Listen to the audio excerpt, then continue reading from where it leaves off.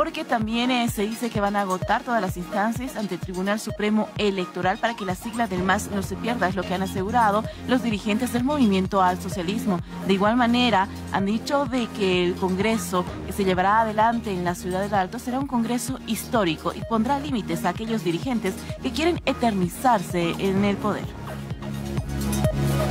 Observaciones que realizó el Tribunal Supremo Electoral a la convocatoria para el Congreso del Movimiento Socialismo en el Alto, autoridades y militantes de este instrumento político señalaron que se agotarán todas las instancias para salvar su personería jurídica. Vamos a agotar todos los esfuerzos que sean necesarios en el campo legal eh, para cumplir con los requisitos exigidos por ley y por nuestro estatuto, de modo que podamos cumplir con los requerimientos del Tribunal Supremo Electoral y hagamos posible la sobrevivencia del MAS. No vamos a permitir desde ningún ángulo que nuestra sigla se pierda en el olvido. Este fin de este 3, 4 y 5 de mayo son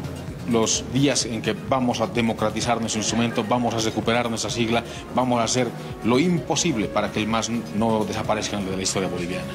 lamentan que grupos radicales hayan traicionado los principios del instrumento solo por intereses de una persona. El instrumento político que estaba secuestrado en un grupo minúsculo que lamentablemente practicaba la dictadura, la dedocracia, pues se va a acabar poner definitivamente a un lado algunos oh, líderes que quieren eternizarse por temas estrictamente personales